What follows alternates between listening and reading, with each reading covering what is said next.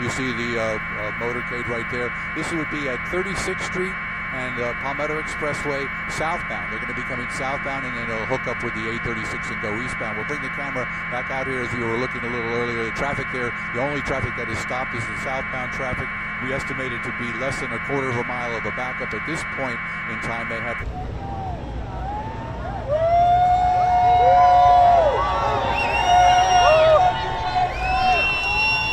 There. That's where it's going underneath, as you guys mentioned before. Those vehicles will now all disappear from view. So.